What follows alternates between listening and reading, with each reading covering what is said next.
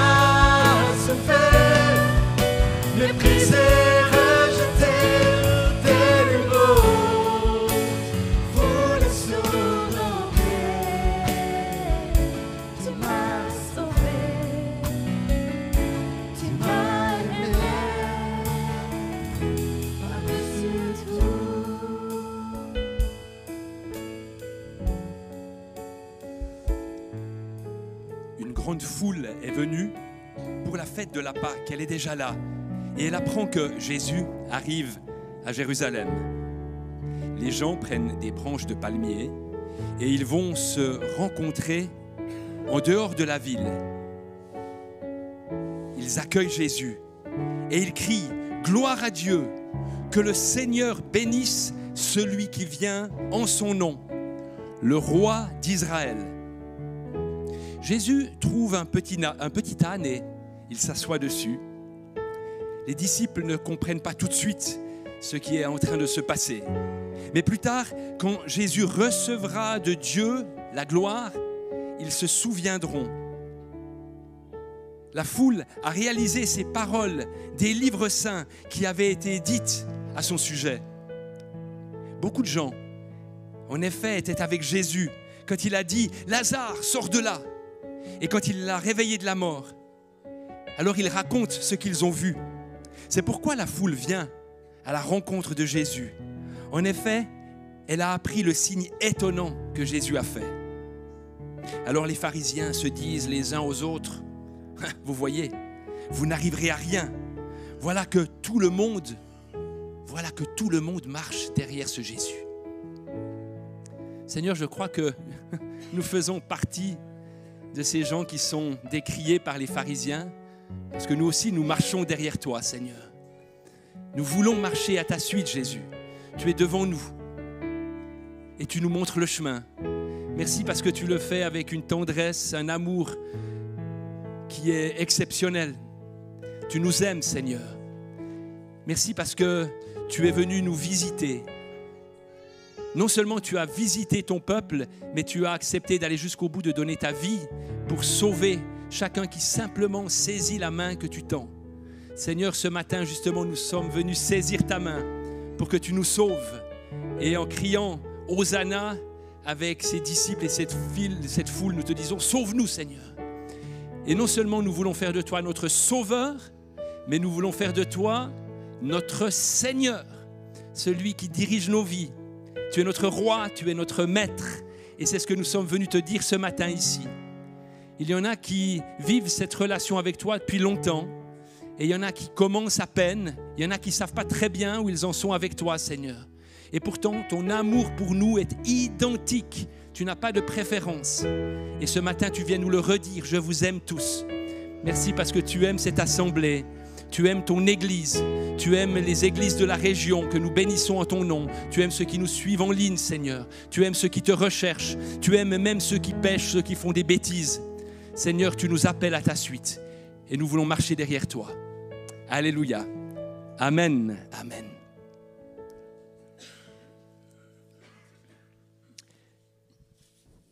Voilà les amis. Je crois que effectivement, pour beaucoup d'entre nous, si nous sommes venus ici ce, matin, eh ben, c'est justement parce que nous faisons partie de ceux qui marchent derrière Jésus. Et puis, puisque nous suivons Jésus, c'est même presque la définition de ceux qui suivent Jésus, nous sommes ses disciples, nous sommes appelés à être les disciples de Jésus. En fait, nous sommes des enfants de Dieu. C'est ça qui est extraordinaire. Non seulement nous sommes des disciples qui apprenons de Dieu, qui apprenons de Jésus, mais nous sommes sa famille, nous sommes ses frères, nous sommes les sœurs de Jésus. Et puis si nous sommes les frères et les sœurs de Jésus, ça veut dire qu'entre nous, nous sommes aussi frères et sœurs. Nous faisons partie de la même famille. Il y a effectivement parmi nous des grands frères, des grandes sœurs, il y a peut-être des petits frères, des petites sœurs. Et j'ai envie de nous poser cette question, comment va notre famille ce matin? Comment se porte notre famille? Et puis peut-être une question un peu plus directe, quel genre de relation est-ce que tu entretiens avec ta petite sœur ou ton grand frère? Est-ce que tu l'encourages? Est-ce que tu le protèges? Comment est-ce que tu te comportes avec ceux qui sont plus jeunes que toi? Est-ce que tu chouchoutes cette toute petite sœur? Voilà, il va s'agir de cela ce matin dans le message que va nous apporter Muriel tout à l'heure. Fratrie, galère ou plaisir, c'est le titre du message. On peut aussi dire euh, avoir des frères et des sœurs, calamité ou bienfait? Je me réjouis d'entendre ce que tu nous diras tout à l'heure, Muriel. J'ai j'ai pas cafeté, j'ai pas été voir en avance, bien que j'ai photocopié les notes de Muriel tout à l'heure, et je me réjouis effectivement.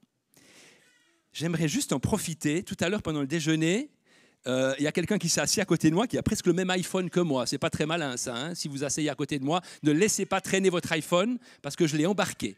Donc voilà, il y a un iPhone ici. C'est forcément celui. Non, il n'y a personne? Vous savez même pas encore que vous avez perdu votre iPhone. Donc il est là, si jamais.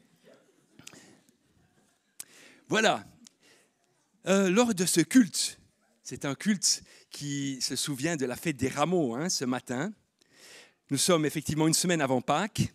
Et selon une ancienne tradition salutiste, nous aimons apporter l'offrande de partage et prière lors de ce culte des rameaux.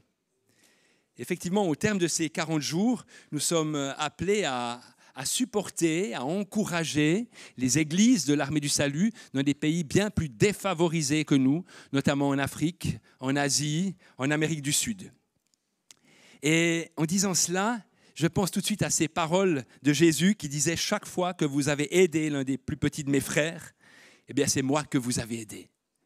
Donc euh, on va procéder comme ça tout à l'heure, pendant le temps de louange qui commence dans, dans quelques secondes, je vous invite à simplement, quand vous avez envie de le faire, de venir, si vous avez une enveloppe, peut-être que vous l'avez prise, cette enveloppe qui normalement était glissée dans le journal Dialogue de l'armée du salut que nous recevons, et si cette enveloppe est préparée, vous la portez simplement et vous la glissez ici, vous la déposez dans, cette boîte, n'importe quand, tout à l'heure, pendant que, que nous chanterons.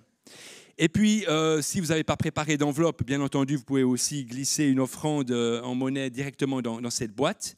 Il y a aussi le code Twint ici, vous pouvez twinter euh, pour faire votre offrande. Et il y a même des bulletins de versement, vous voyez on donne toutes les possibilités. Je vous invite à être généreux aussi dans, cette offrande en pensant justement aux destinataires de, cette offrande. Soutenir les postes les églises de l'armée du salut dans ces pays bien moins défavorisés que, bien moins favorisés que nous. Merci beaucoup Jonathan pour ce que tu as préparer pour ce temps de louange, que nous puissions maintenant vivre un temps, continuer à vivre un temps particulier tout près du Seigneur Jésus. Et puis pendant ces chants, il y en aura trois, quatre, cinq peut-être, n'hésitez pas à passer et à porter votre offrande.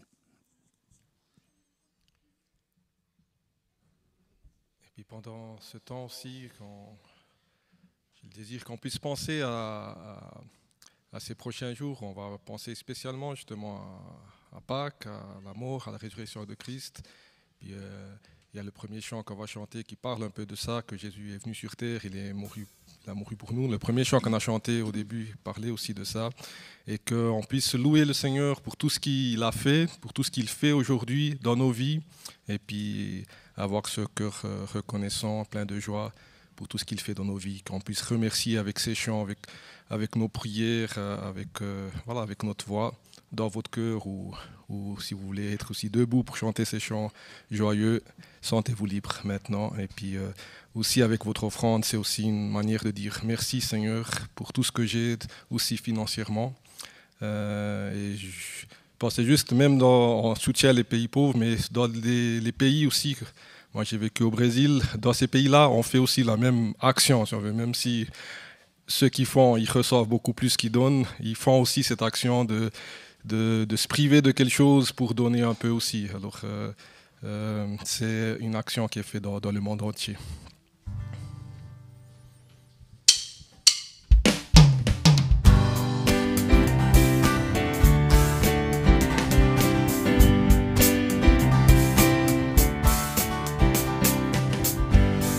Ton nom éternel. Seigneur, je célèbre ta bonté. Quelle joie tu vis en moi. Quelle joie tu viens pour nous sauver. Je loue ton nom éternel. Je loue ton nom éternel. Seigneur, je célèbre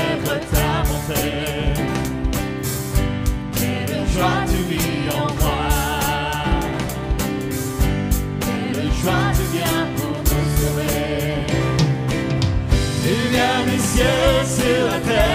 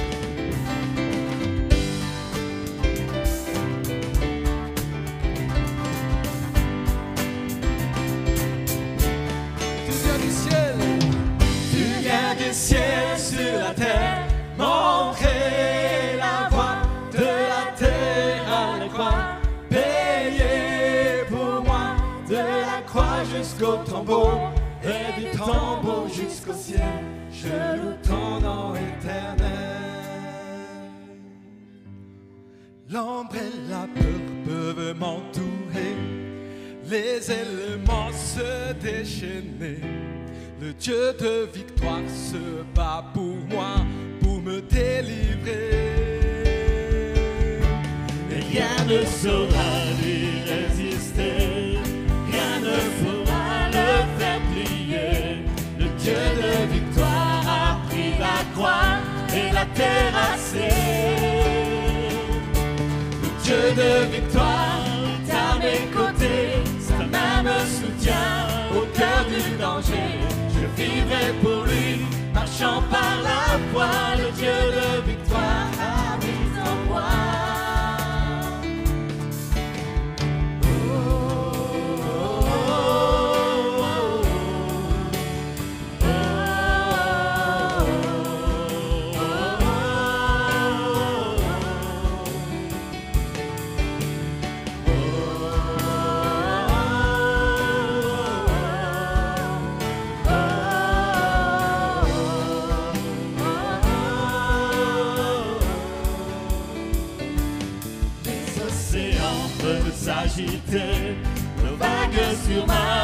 le Dieu de victoire, elle veut savoir pour tout abaisser.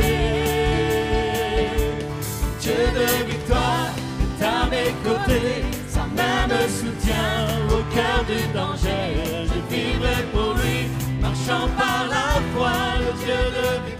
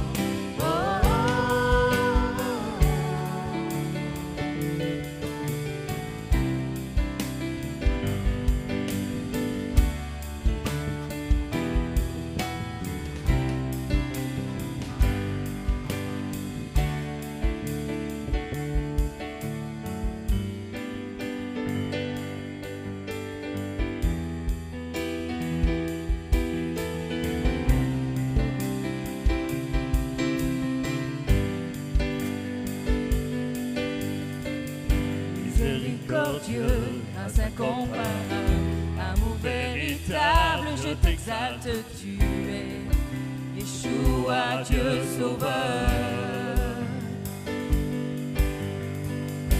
Dieu Fils unique, beauté sans sagesse insondable, je t'exalte, tu es Yeshua, Dieu sauveur.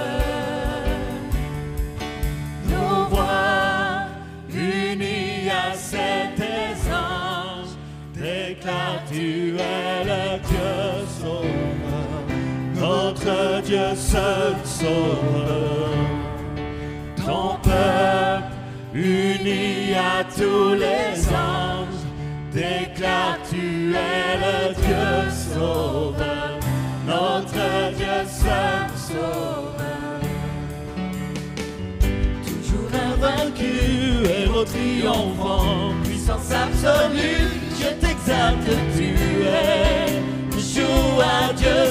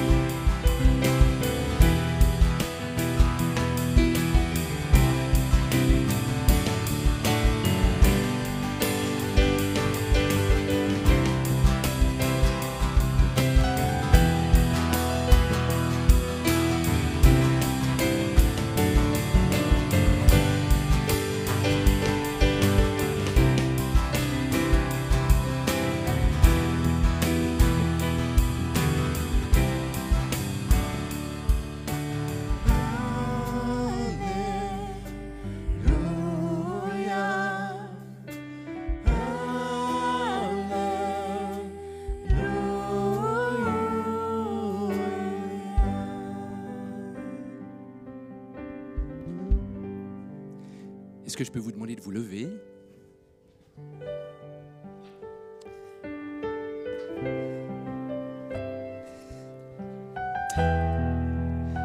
J'aimerais prier pour louer Dieu et lui dire merci pour cette offrande. Seigneur, merci parce que tout ce que nous avons vient de toi. Encore ce matin, quelqu'un me disait qu'il y a des fois où il doit vivre au jour le jour. Mais je suis convaincu, Seigneur, que tu pourvois. Je t'invite, Seigneur, à, et je te demande de nous donner plus de foi, que nous soyons encore plus dépendants de tes grâces, Seigneur que nous ne fassions pas trop des, réserves parce que nous avons peur de l'avenir, mais que nous puissions vraiment te confier nos vies et en te confiant nos vies, nous te confions nos moyens, nos ressources. Parce que, encore une fois, tout ce que nous avons vient de toi et ça t'appartient et nous, nous faisons que rendre ce qui t'est dû, Seigneur.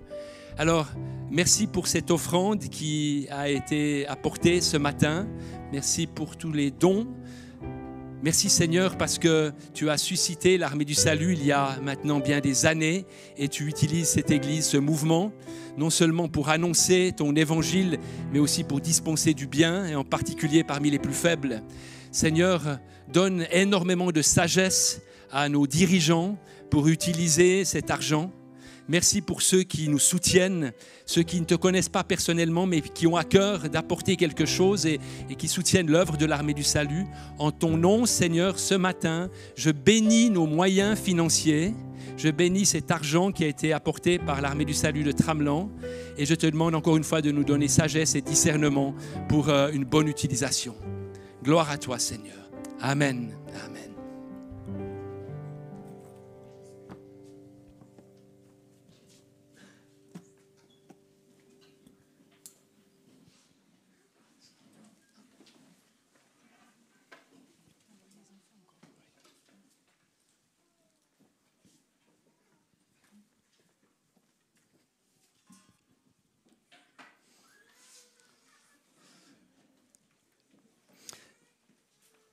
Merci beaucoup, les amis.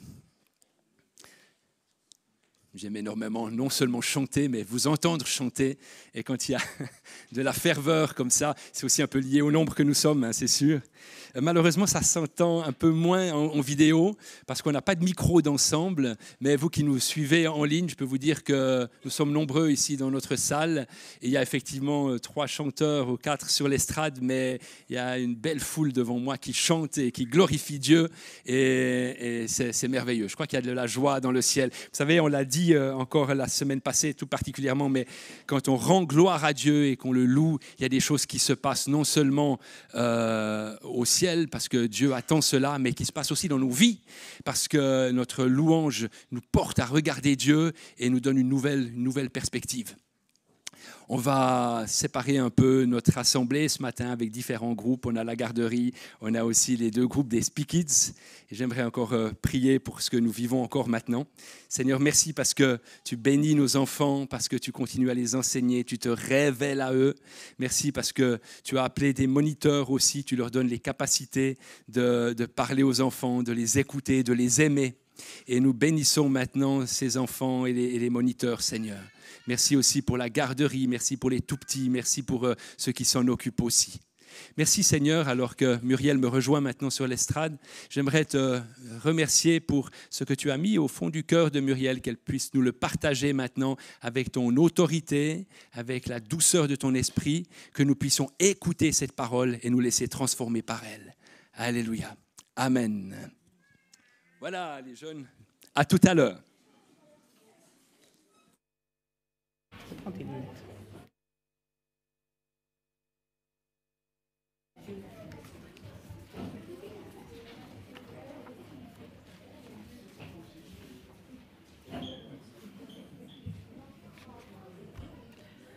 Pascal vous a déjà posé quelques questions ce matin. Il a quand même lu deux, trois phrases, c'est pas possible autrement. J'aimerais vous poser aussi, moi, des questions, et puis on va cheminer ensemble. Qui parmi vous a une fratrie? Ok. Qui est enfant unique? Ah, tu pourras quand même écouter parce que ce sera aussi pour toi.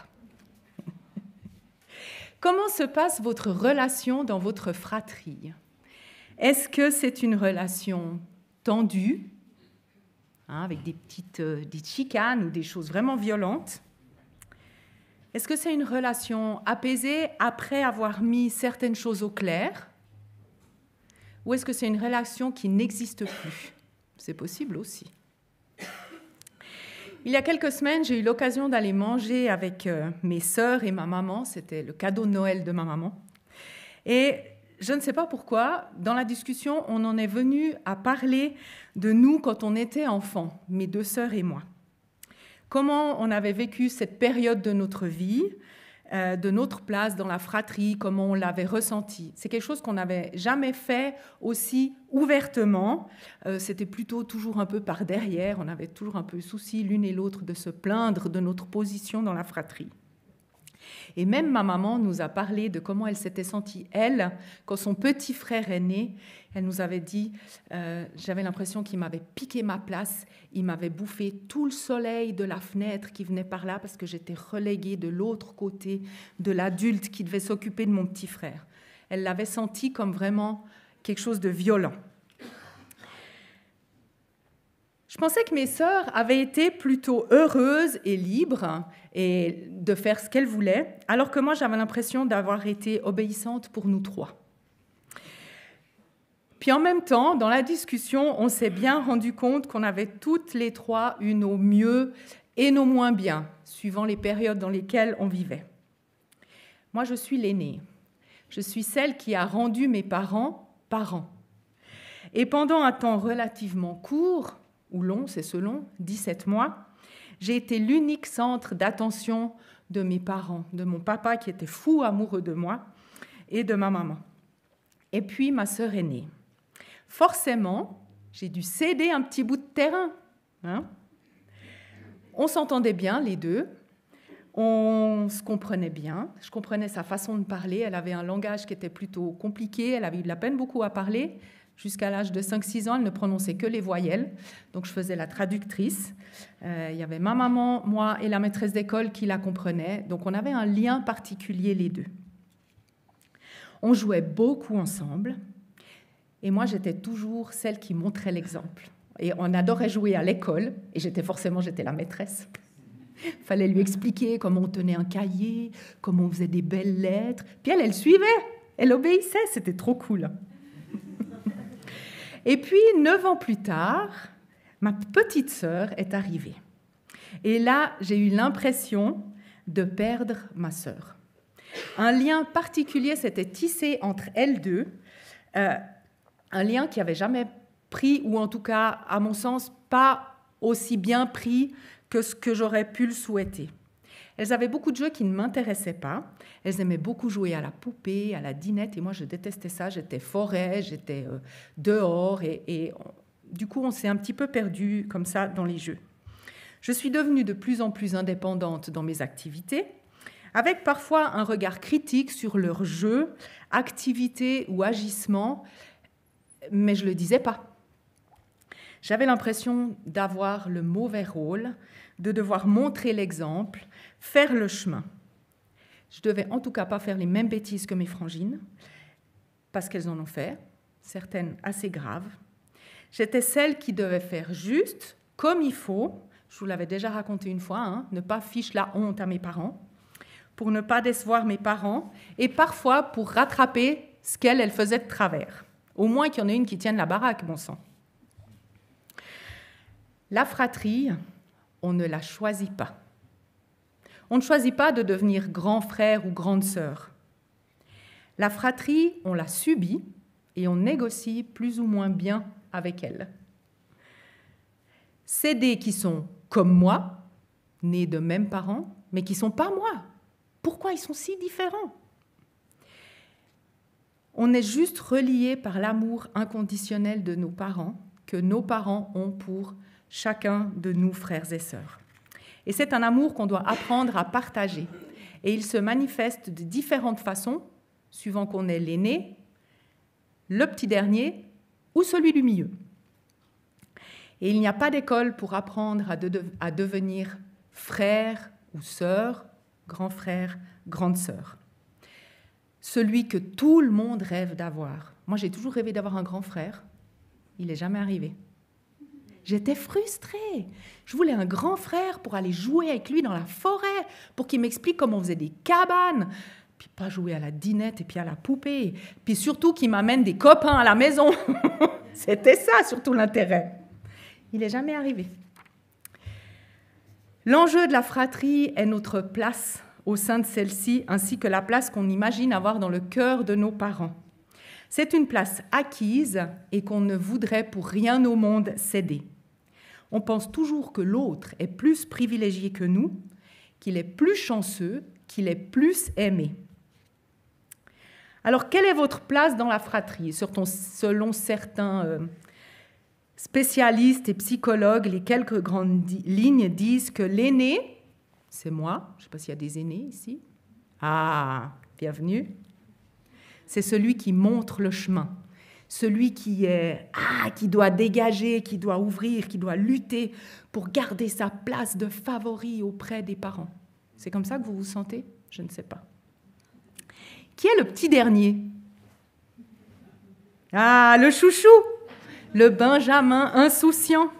Les responsabilités l'embêtent et il a pris l'habitude qu'on fasse les choses à sa place, qu'on anticipe même certains besoins. Il est souvent au cœur de l'attention et le Benjamin aime faire le pitre et amuser la galerie. Je ne sais pas si c'est comme ça que vous vous sentez. Pas trop. Et qui est le jambon entre les deux tranches de pain? Ah, il y en a quand même. Parfois, il se sent transparent je me souviens que Romain, pendant longtemps, était celui du milieu, et à l'armée, il avait été défini comme intransparent, celui qu'on ne voit pas. Mais il n'est pas pour autant timide. L'enfant du milieu est très sociable. Il sait aussi bien s'amuser avec son petit frère qu'avec sa grande sœur, ainsi qu'avec les enfants de son âge. Peu importe avec qui il est, il s'adapte à toutes les situations. Est-ce que c'est comme ça que vous vous sentez? Je ne sais pas. En tout cas, il me semble que ça correspondait assez à ma fratrie et à la fratrie de mes enfants. Ou en tout cas l'idée que je m'en fais ou de ce que j'ai pu remarquer. Tous nos parents ont rêvé d'avoir une fratrie paisible. Mais bien que nous soyons nés de mêmes parents, nous avons des personnalités différentes, nous avons des similitudes qui nous rassemblent et qui nous rassurent, mais on a aussi des différences qui créent parfois des jalousies. Nos frères et sœurs nous semblent parfois tellement étrangers, lointains, qu'il est difficile de croire que nous sommes nés du même ventre. Les rivalités sont pourtant un bon moteur pour avancer, pour grandir, pour se surpasser, pour apprendre à vivre avec des frustrations. Lorsque j'étais plus jeune, je pensais que mes sœurs avaient le droit de faire plus de choses que moi de sortir avec les copains, d'aller au ciné, d'aller en boîte, d'avoir des amis un peu bizarres, de faire des études plus faciles. Bref, qu'elles avaient une vie vraiment cool, alors que moi, je restais dans les rails et que j'obéissais. Après coup, je me suis rendu compte qu'elles avaient peut-être choisi de prendre ces voies-là et ces libertés que moi, je n'avais pas osé prendre. La perspective est un tout petit peu différente. Et si on n'est pas d'accord, en tout cas moi, en tant qu'aîné, j'étais pas d'accord, je faisais le point dans ma poche et je filais droit et j'obéissais. Et j'ai jamais pris ces libertés de dire à un moment donné, j'ai plus envie. Dans la Bible, il y a plusieurs histoires de fratrie, histoires qui ont toujours un épisode plutôt malheureux. C'est tragique quand on lit toutes ces histoires. D'abord Cain et Abel. Première fratrie, L'aîné tue le cadet par jalousie et bim, ça commence. Avec ce premier meurtre dans la première fratrie, comment voulez-vous concevoir un mode d'emploi génial pour être frère et sœur? C'est pas possible. Ça commence vraiment mal. Et puis il y a Esaü et Jacob, le petit qui veut être l'aîné à la place de l'aîné, mais en fait, je crois qu'il sait pas ce que c'est que d'être un aîné, franchement. S'il avait été un aîné, il aurait su, puis il n'aurait pas voulu. Enfin, moi, je dis ça en tant qu'aîné. Un père qui donne la mauvaise femme à un fils, qui... enfin bref, c'est une catastrophe, cette famille. On pourrait écrire un, un roman en douze tomes. Et puis il y a Joseph et ses frères, un frère tout petit, dernier chouchou, rêveur, qui sait mieux que les autres et qui dit aux autres tout ce qu'il a vu et tout ce qu'il imagine bien. Joseph qui chercha ses frères toute sa vie, qui chercha à entrer en relation avec, avec eux toute sa vie, puis que ça n'a pas marché. Et Moïse et Aaron. Moïse qui est envoyé par Dieu pour délivrer le peuple du Pharaon, et puis il dit, mais je ne sais pas parler. Et voilà, le petit frère qui va se cacher derrière le grand frère. Comment voulez-vous? Et puis, dans le Nouveau Testament, on a une histoire bien connue, celle que vous trouvez là derrière votre petit feuillet, du fils prodigue. Je vais vous la résumer. Pourrez prendre le temps de la lire quand vous serez à la maison. C'est l'histoire d'une fratrie, deux frères, qui étaient chez leur père et qui travaillaient tous les deux pour leur père. Et un jour, le plus jeune des frères va vers son papa et lui dit, Papa, je veux ma part d'héritage euh, parce que j'ai envie de vivre ma vie. Et le père dit, OK, je te donne ta part d'héritage. Et ce jeune frère part pour un pays inconnu, là où il gaspille sa fortune et il vit une vie euh, catastrophique. Euh, ici, on dirait, il va en boîte, il descend à Lausanne, il va se piquer, après il remonte à Genève, il va je sais pas quoi faire. Enfin, vous voyez le tableau. Et puis, une fois qu'il avait dilapidé toute sa fortune, ce jeune frère se retrouva dans le besoin, il n'avait plus d'argent pour manger. Et il s'est dit, mais qu'est-ce que je vais faire? Comment est-ce que je vais manger? Et à l'intérieur de lui, il réfléchit et se dit, il n'y a qu'une chose, il faut que je retourne à la maison. Je suis obligé de retourner à la maison, mais je vais revenir et je vais demander pardon à mon père de ce que j'ai fait. Son père le voit au loin du chemin et il se dit, mon fils que j'avais peur de ne jamais revoir, revient à la maison. Et il court vers lui et il le prend dans ses bras. Le père fait une grande fête pour ce fils qui était perdu et qui est revenu à la maison.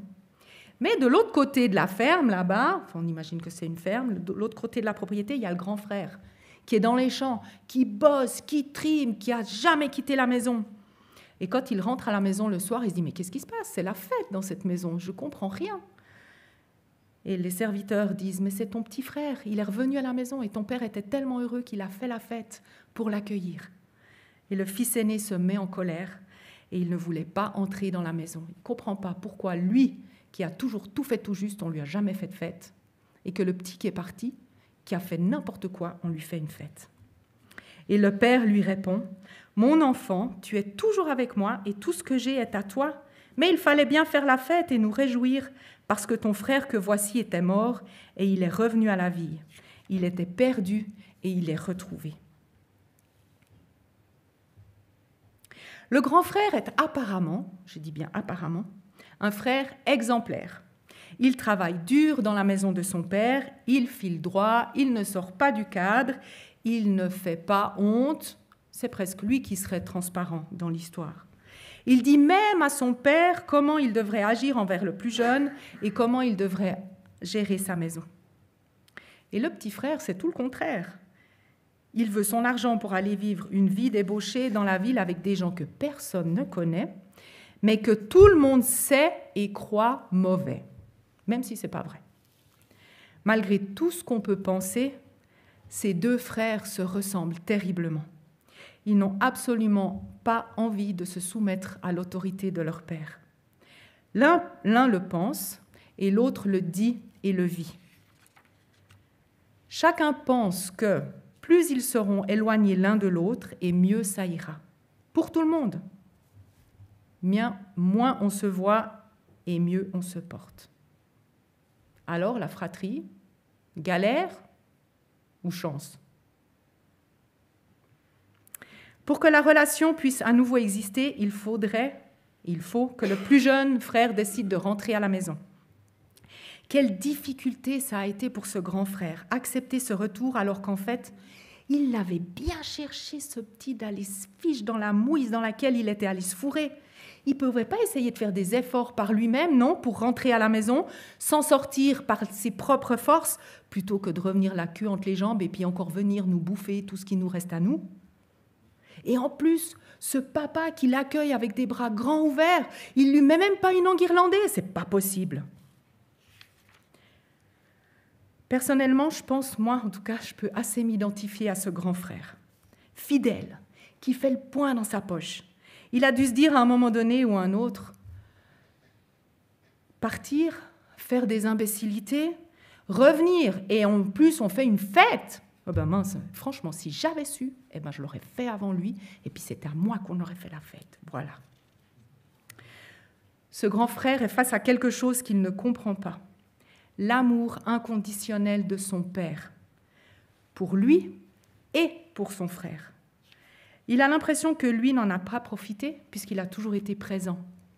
Il ne l'a pas remarqué. Qu'est-ce qu'il aurait dû faire pour connaître l'amour de ce père? Qu'est-ce qu'il aurait dû tester pour mettre à l'épreuve l'amour de son père? Mais est-ce que le plus jeune frère a fait cela pour mettre à l'épreuve l'amour de son père? Je ne suis pas sûre. Il n'a certainement pas pensé aux conséquences de ses actes. Pour sa famille, lorsqu'il a demandé son argent pour partir, il a appauvri son père et son frère a dû faire double de travail pour compenser son absence. Le père a certainement dû engager des salariés en plus qu'il a dû payer. Encore un peu d'argent qui, est parti. Et puis ce jeune frère, quand il était dans sa grande ville là-bas à faire l'imbécile, il n'a pas imaginé que l'argent pouvait un jour se tarir parce qu'il n'a pas travaillé, puis qu'il allait falloir se mettre à travailler.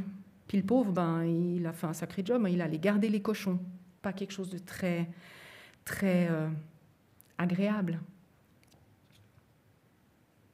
Alors comment on se positionne, nous, par rapport à cette histoire?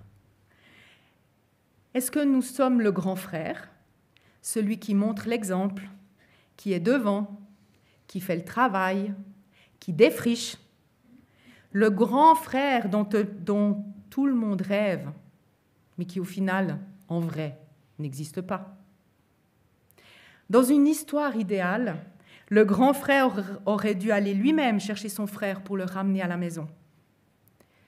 Mais ce grand frère, il est beaucoup trop égoïste pour faire ça. Est-ce que nous sommes le petit frère? Celui qui est encouragé, celui qui est accompagné, le petit dernier, celui qu'on chouchoute, à qui on passe tous les caprices.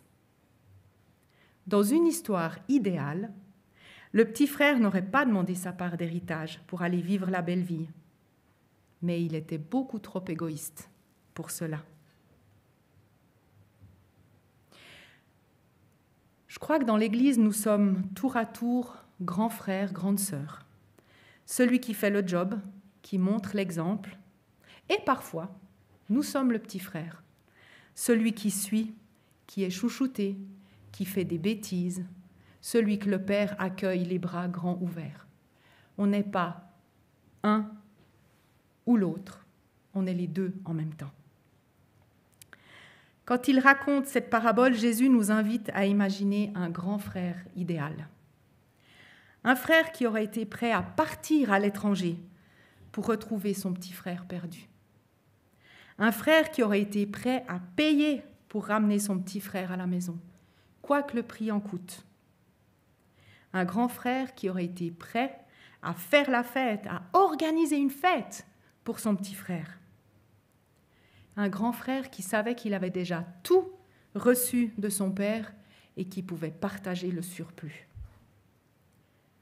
Dans le royaume de Dieu et pour Dieu, nous sommes tous des petits frères, le chouchou, celui que le Père préfère. Et j'aime à me rappeler que je suis la chouchou de mon Père céleste. Même que vous êtes là, c'est quand même moi qui préfère. Ça fait du bien. Vous pouvez vous dire la même chose. Hein. Je suis celle ou celui que le Père préfère, même que vous êtes là. Notre grand frère parfait existe. Moi, je ne l'ai pas eu, je l'ai eu beaucoup plus tard, c'est Jésus. Il a quitté la richesse de son ciel pour venir nous chercher et nous ramener vers le Père qui nous attend, les bras grands ouverts. Par lui, Dieu se constitue une famille. Par Jésus, nous avons une fratrie spirituelle. Et même les enfants uniques ici ont une fratrie. C'est génial. Découvrir que vous êtes frères et sœurs, même si sur Terre, vous êtes enfants uniques. Cette fratrie spirituelle est bien meilleure que toutes les fratries terrestres que nous pouvons imaginer ou idéaliser. Dans la famille de Dieu, il n'y a pas d'enfant unique, si ce n'est dans notre spécificité. Nous sommes uniques parce qu'on est blond, parce qu'on est brun, parce que voilà. Mais il n'y a pas d'enfant unique. On ne peut pas être seul. Dieu nous a appelés à accueillir de nouveaux frères et de nouvelles sœurs. On est une fratrie qui grandit, qui grandit et qui ne s'arrêtera jamais de grandir. C'est un statut de frère et de sœur qui nous tombe dessus sans que nous l'ayons choisi, mais que nous pouvons vivre sans jalousie ni comparaison, parce que notre Père est parfait et qu'il donne à chacun le même héritage. Notre fratrie spirituelle, ici dans le poste, mais dans l'Église en général, crée des liens indissolubles, parce que nous, sommes issus de la même matrice, celle de Dieu qui nous a créés et rachetés. C'est super agréable de penser à ça.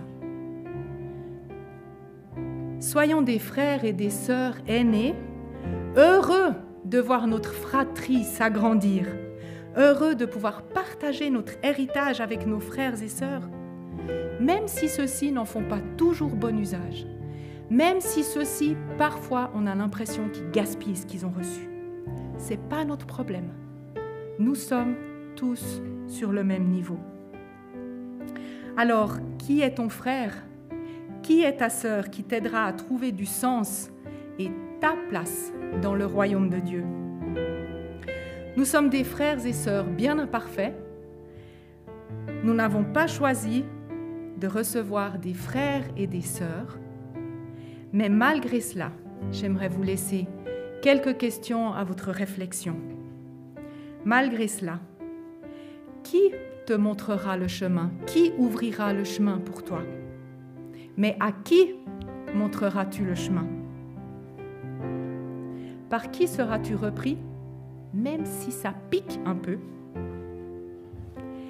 Qui reprendras-tu, même si ça peut être mal perçu ou mal reçu?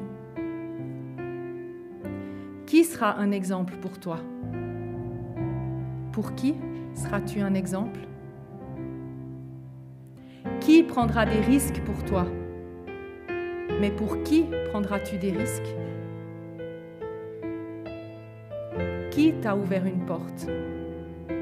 Pour qui ouvriras-tu une porte?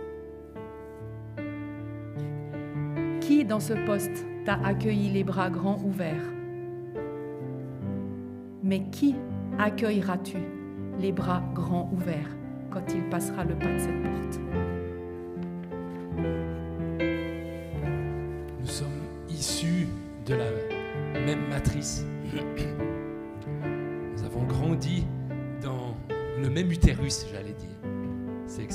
Quand même. Alors que simplement je vous chante trois versets d'un beau cantique, c'est peut-être l'occasion de, de faire une démarche spirituel, aussi par un peut-être un déplacement physique si vous voulez vous agenouiller ici, peut-être même que vous voulez aller prier vers quelqu'un euh, par rapport à ce que vous avez saisi ce matin dans ce beau message, dans le temps de louange que nous avons vécu aussi. Je vous invite encore à la fin de ce culte à simplement saisir que nous sommes maintenant dans un lieu saint, dans un lieu spirituel, en présence de notre souverain, de notre Dieu.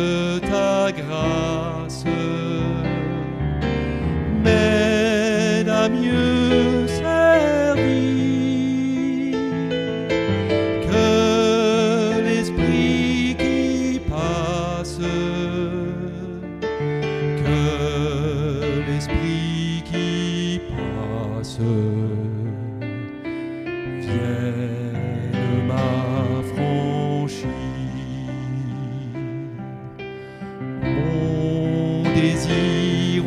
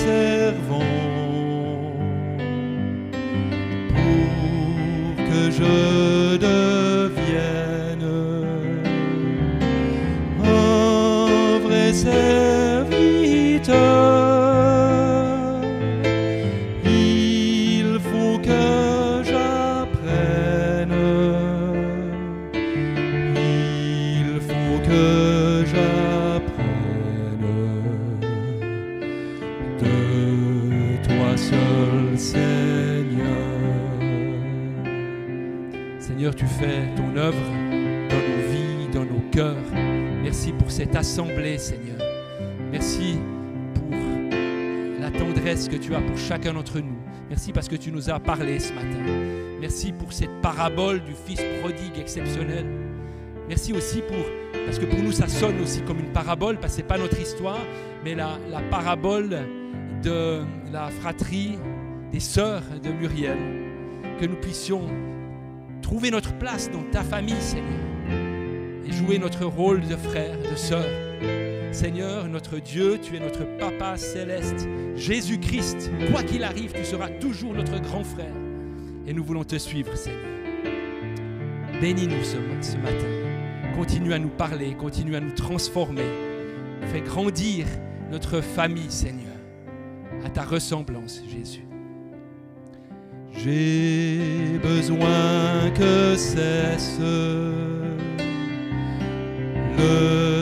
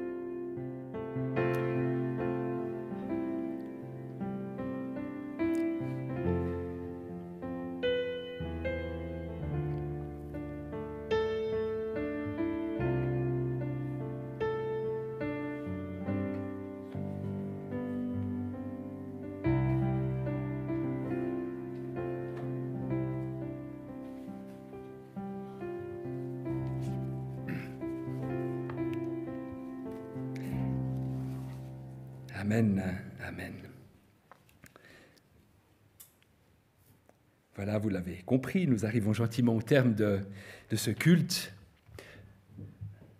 Il y a l'avant-culte qui commence souvent à 9h pour beaucoup d'entre nous. Il y en a même qui viennent avant pour répéter, pour se préparer. Et là, je suis tellement, nous sommes tellement reconnaissants aussi pour ceux qui s'investissent dans, ces cultes, en particulier les trois personnes juste en face de moi, la technique aussi. Euh, vous permettez aussi à, nos auditeurs en ligne de, nous suivre et c'est un, un, travail euh, non seulement utile mais qui a une réelle portée, c'est une bénédiction. Et puis il y a l'après-culte aussi. Vous avez tout le temps, vous pouvez rester ici. Vous savez, il y a beaucoup d'Ukrainiens qui viennent de la maison, ils ne se posent pas de questions. Hein. L'autre jour, il y en a qui sont arrivés à, à 11h30 le soir. On est encore en train de discuter avec Marcel de trois autres. Il y en a qui arrivent à 11h30 ici. Donc voilà, c'est votre maison. Vous pouvez rester autant que vous voulez. Euh, il, y a, du café. Hein, il y a pas mal de café à disposition. Donc euh, tout, va bien. J'aimerais vous laisser encore quelques, quelques annonces. Il y en a une qui est imminente cet après-midi à 14h les jeunes sont invités à vivre un moment assez exceptionnel avec euh, plein d'autres jeunes des autres églises de Tramelan. Le rendez-vous est à 14h devant l'église catholique. Il y a un programme qui est assez excellent. Euh, je ne vais pas vous en dire plus, mais euh, Ça vaut vraiment la peine d'y aller, les amis. Donc je parle peut-être aussi aux parents pour encourager les, enfants à y aller. Évidemment, pas besoin de s'inscrire. Ils se pointent à 14h tout à l'heure devant l'église catholique. Vendredi prochain, nous aurons un culte ici, euh, exactement comme, comme aujourd'hui, hein, un culte tout à fait ordinaire, avec un petit déjeuner aussi à, à 9h. Simplement, ça sera dans le cadre de Vendredi Saint.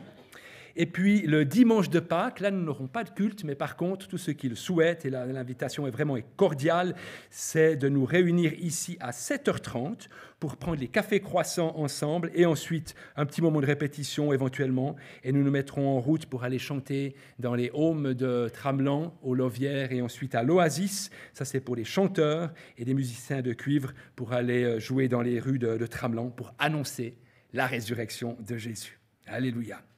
Et puis j'aimerais encore juste renouveler euh, cette annonce, cette information.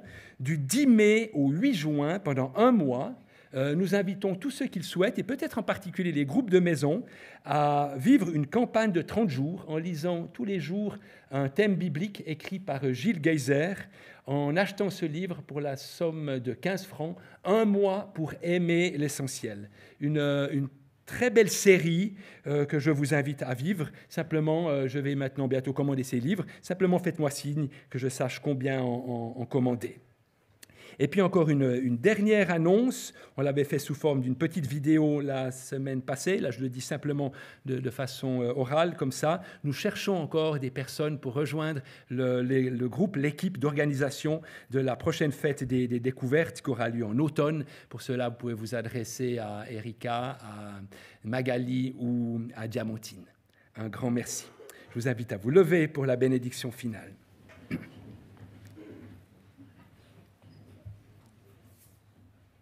Seigneur, on est en route avec toi. On, te suit. Ton désir, c'est qu'on soit juste derrière toi, qu'on puisse même te, te toucher. Seigneur, merci pour ton œuvre dans, dans nos vies. Merci pour l'Église. Merci pour la famille des enfants de Dieu. Merci pour cette assemblée, pour euh, notre Église. Encore une fois, je l'ai dit plein de fois aujourd'hui, mais j'aime à le redire. Merci pour tous les chrétiens de notre région et j'aime à bénir aussi les églises de la région ici, Seigneur. Merci parce que tu restes avec nous alors que nous nous séparons tout à l'heure dans nos familles, peut-être même tout seuls, dans nos lieux de vie. Je te demande aussi de nous accompagner durant cette semaine, de nous aider à saisir les occasions aussi de partage et de témoignage là où nous sommes, que nous n'ayons pas peur, jamais peur de prononcer ton nom, Jésus, et de dire que nous sommes des disciples de Jésus, que nous sommes des frères et des sœurs de Jésus. Gloire à toi, Seigneur. Que l'amour de Dieu, notre Père, que la grâce de notre Seigneur et Sauveur Jésus-Christ et la communion du Saint-Esprit restent et demeurent avec chacun d'entre nous. Allons dans la paix du Seigneur Jésus. Belle journée, bel après-midi, belle semaine à chacun et à vendredi prochain.